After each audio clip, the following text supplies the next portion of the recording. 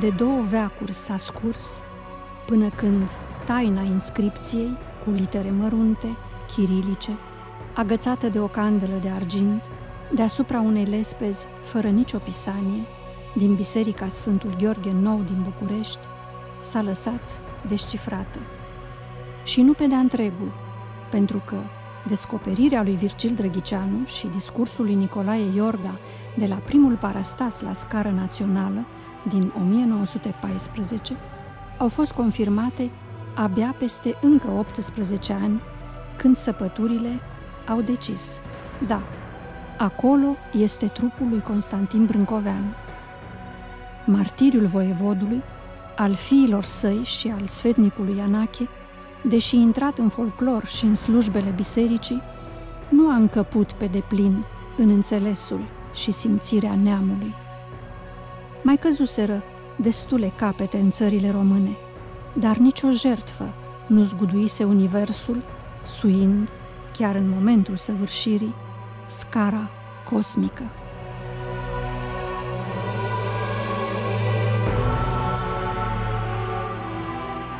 Și încă aproape un veac a mai trecut, până la ceasul când puterile cerești au ivit, zugravul icoanei sfinților mucenici, martiri, brâncoveni.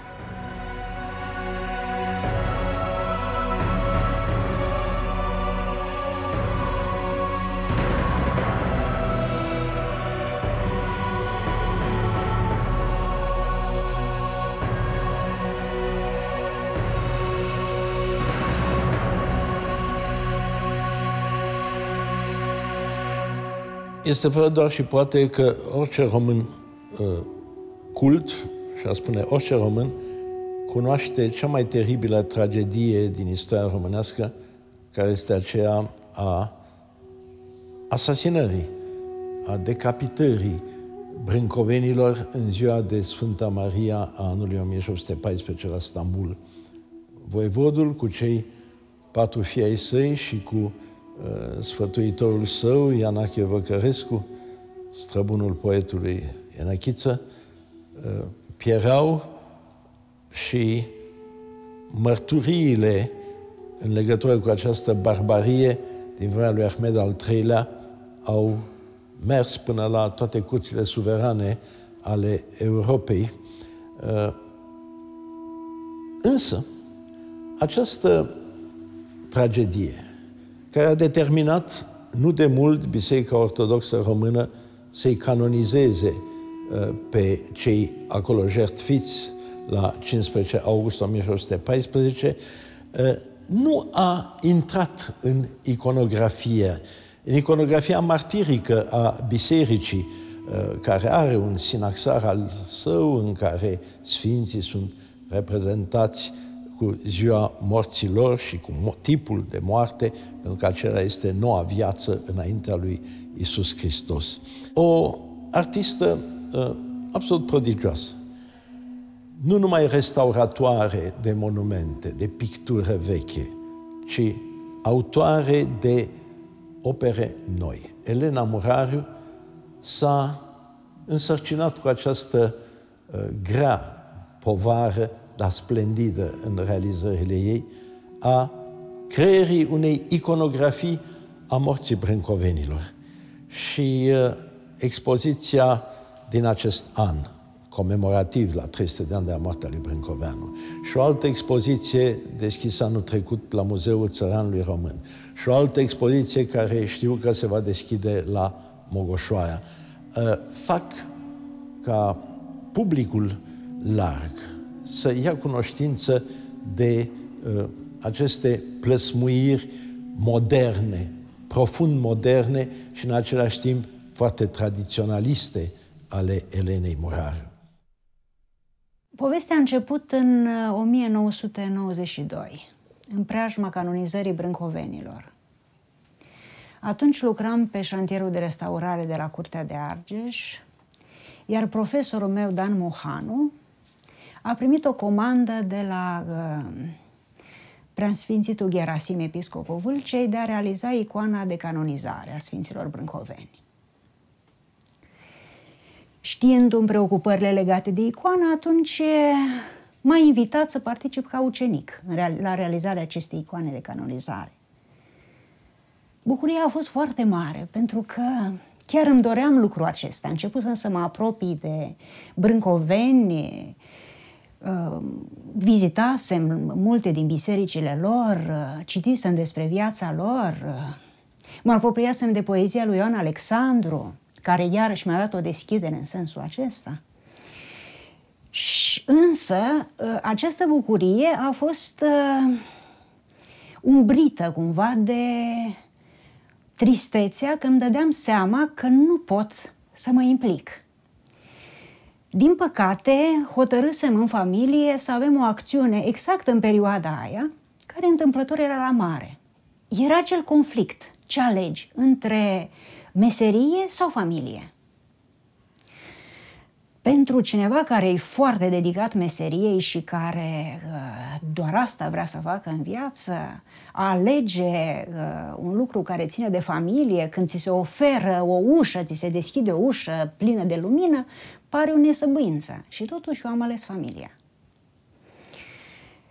Și bine am făcut lucrul acesta pentru că mai târziu familia, pe măsură ce proiectul a început să crească, această idee să se coacă, familia întreagă s-a implicat, de la mic la mare, în acest proiect și așa m-au călăuzit și susținut ani de zile.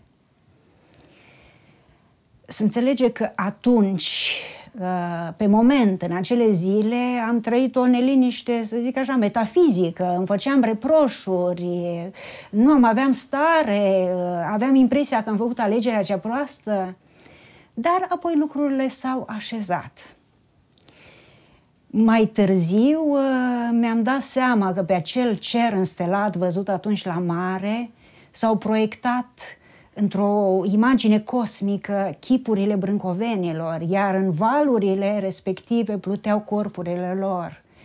Uh, lucrurile se legau cumva. Nu m-am putut liniști în acel moment decât uh, când mi-am făcut un legământ, să spun așa am pierdut trenul pictării icoanei de canonizare, dar vor mai fi în trenuri. Brâncovenii au nevoie de icoane. De-abia acum începe uh, cultul, să spun, deschis în Biserica Sfinților Brâncoveni. Și să le fac în entuziasmul meu tineresc de atunci, să le fac brâncovenilor o icoană hagiografică în care să prezint toată viața, cu toate uh, minunățiile și toate întâmplările acestea extraordinare asta m-a, chiar m-a liniștit, făcând acest legământ. Și am început pendelete, fără nicio grabă și aveam, aveam vreme. Vorba lui Brâncoveanu, cu vremea se cocea tot încet, încet. Am primit și binecuvântare de la uh, preasfințitul Gerasim în sensul acesta și acest proiect a fost, să spun așa, ca o melodie de fond, ani de zile. Am făcut uh, schițele pentru acea icoană la care visam, asta se întâmplă acum vreo 15 ani. Și am trecut la lucru. Am comandat lemnul, am cioplit, am grunduit, poleit. Totul părea că este ok, merge de acum.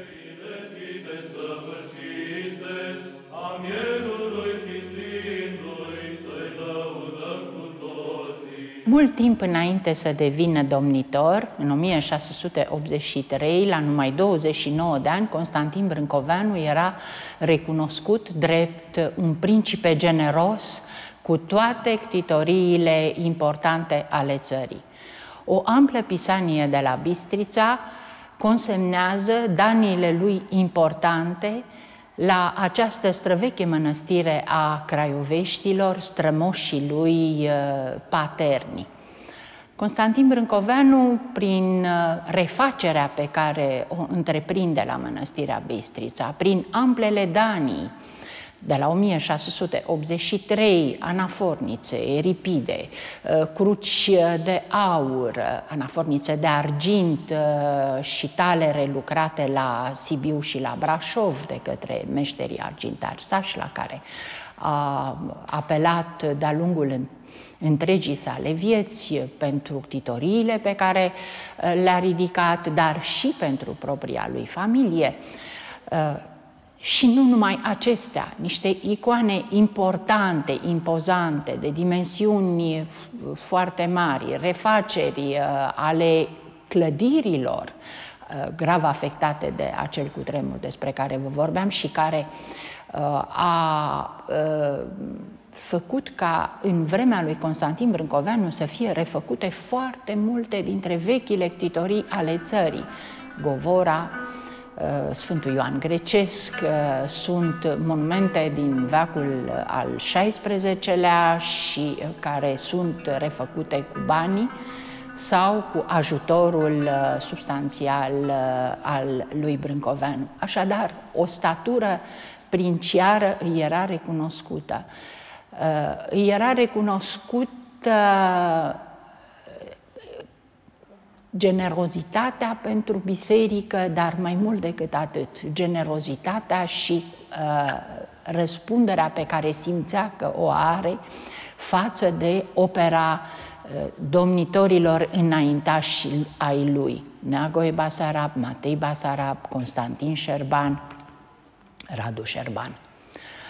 Acum, în, uh, în ceea ce o privește pe Elena Murariu, ea este uh, un, uh, un artist singular, pentru că, așa cum Brâncoveanu însuși își coace viziunea în aproape 30 de ani de activitate ctitoricească, și aici mă refer la titoriile lui anterioare domniei, uh, împlinite de cele care s-au uh, desfășurat de-a lungul uh, celor 25 de ani de domnie împliniți, tot astfel. Și Elena Murariu reflectează asupra operei lui Constantin Brâncoveanu vreme de, iată, aproape 25 de ani. Ea s-a apropiat de opera lui Brâncoveanu, studentă fiind în timpul restaurărilor de la Hurezi, alături de profesorul ei, Dan Mohanu. Dar după aceea este singurul artist român pe care îl cunosc care a rămas să reflecteze asupra acestei teme și care a dezvoltat asemenea, aș spune, marilor autori de imne creștine, o întreagă hagiografie. Este o hagiografie cu totul specială. Ea nu se leagă din punct de vedere um, iconografic de niciun alt ciclu pe care să-l fi cunoscut în istoria artei, Uh, ca ciclu hagiografic asupra vieții unui sfânt. O formulă fixă pe care Elena Murariu, de-a lungul celor peste 20 de ani de reflexie hagiografică, uh, o dezvoltă, o depășește uh, și o ocolește într-un mod cu totul singular. Icoana de la care să zic așa, mi-am luat zborul spre alte icoane după ce am înțeles că uh, iconografia brâncovenilor este foarte complexă și nu mă pot opri aici. Icoana îi prezintă în centru pe Sfinții Brâncoveni. Constantin Brâncoveanu în mijlocul fiilor, celor patru fii, Constantin Ștefan, Radu și Matei, urmați de sfetnicul Enache, Văcărescu. Sunt proiectați în lumea împărăției, pe un fond de aur, în fața Mântuitorului. Icoana are în partea superioară două biserici. În dreapta, Biserica Mare a Mănăstirii Hurezi, iar în stânga, Biserica Sfântul Gheorghe. Pe linia aceasta se află Mântuitorul și bisericile, în partea superioară. La Hurezi, Brâncoveanu și-a ridicat un amplu ansamblu cu patru biserici, cu schituri, care înconjurau Biserica Mamă din centru. Biserica cu hramul Sfinții Împărați Constantin și Elena, sfinți care erau patronii familiei Brâncoveanu. a lui Constantin Brâncoveanu și a Mariei Brâncoveanu. Tot aici la Hurez, Brâncoveanu, înainte de a împlini 40 de ani, își face mormântul, își pregătește locul de veci. Deci acest, în pronaosul de la Hurez, el deja își pregătea uh, ieșirea din această lume și intrarea în uh, lumea viitoare. La Sfântul Gheorghe vor ajunge peste ani moaștele lui Brâncoveanu, aduse de Maria Brâncoveanu. Iar anul acesta, un fragment din moaștele lui Brâncoveanu vor pleca de la Sfântul Gheorghe spre Hurez, încât lucrurile se vor împlini într-un arc în timp de 300 de ani. În prima scenă, imediat sub biserica de la Hurez, există o inscripție. Brâncoveanu proiectat pe fondul unei inscripții, o inscripție care uh, reprezintă un text dintr-o scrisoare trimisă de Constantin Brâncoveanu la începutul domniei. Chiar în anul respectiv, la 1688, o scrisoare către uh, țarii Rusiei, care are un uh, text uh, răvășitor, aș spune. El scrie în această scrisoare, slujba mea este să îndur nevoile și să rab năpăștile și chiar să învăr sângele în numele lui Hristos, al Domnului nostru Dumnezeu, pentru credință, pentru una sfântă, sobornicească și apostolească biserică. Este un text viziune dacă îl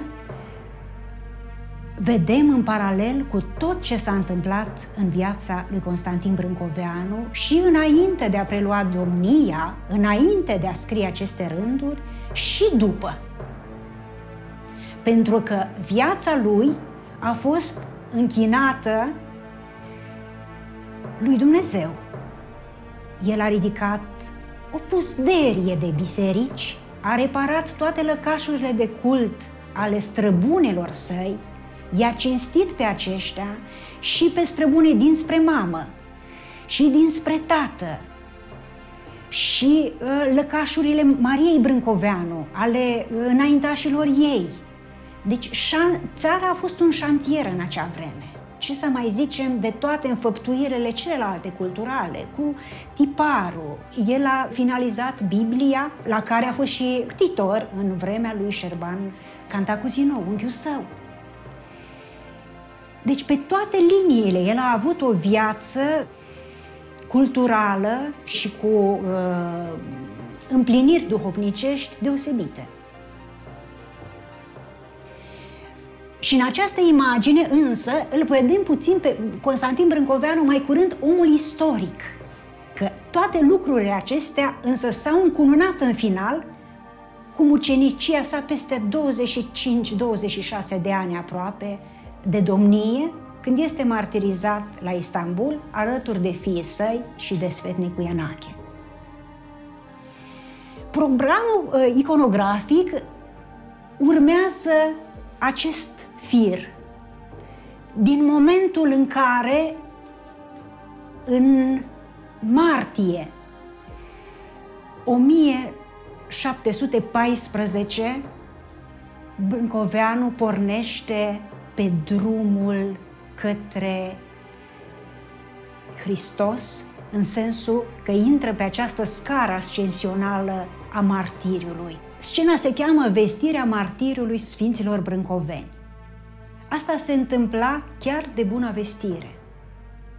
Atunci, el este mazilit și trimite o scrisoare duhovnicului său, Hrisant Notara, care era patriarhul Ierusalimului, în care îi spune de cele întâmplate și zice și toate acestea uh, întâmplări sunt pline de jale și de tulburare, dar cunoaștem că au venit din multele noastre păcate și atunci facă-se voia lui cea sfântă, a lui Dumnezeu voia lui cea sfântă. Citesc din memorie, evident. Pe 15 august Brâncovenii au fost duși pe malul uh, Bosforului, într-un loc numit Ilia Chioșc, și în fața unei asistențe compuse din Ahmed al III-lea și suita sa, alături de reprezentanți ai tuturor puterilor creștine, au fost martirizați.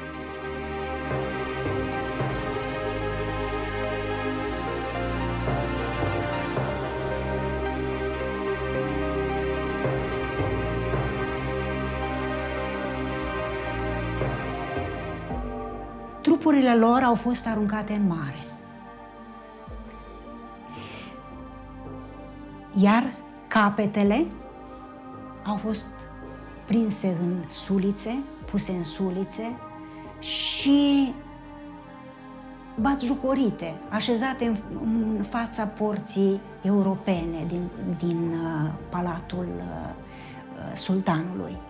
Această scenă de batjocorire eu am transfigurat-o și am schimbat uh, sulița cu un pom. Ea, de fapt, a devenit o imagine de rai în care brâncovenii sunt văzuți ca flori, ca fructe, ca pilde duhovnicești de tărie, de credință, de sens.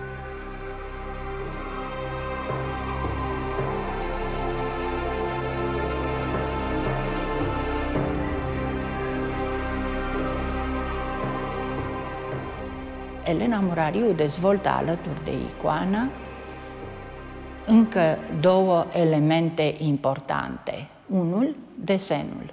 Desenul ca pe o caligrafie spirituală și ca pe un jurnal spiritual al creștinului care uh, își notează reflexiile.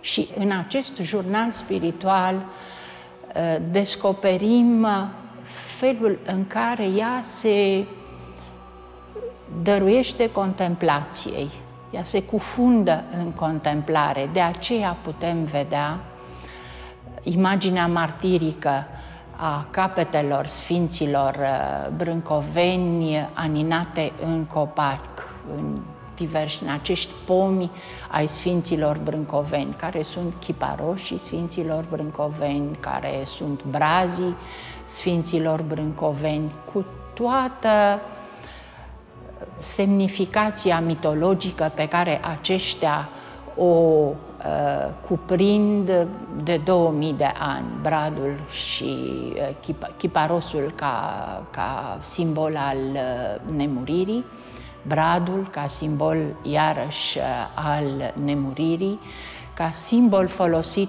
funerar, folosit uh, în momentul de nuntă, ca simbol al veșnicii, al vieții veșnic uh, tinere, verzi. În aceste contemplări îi este dat uh, Elenei Murariu să descopere că Brâncoveanu nu a fost uh, nici pe departe singur în mucenicia lui. El a fost susținut de rugăciunile Sfintei sale soții, Mariei Doamna.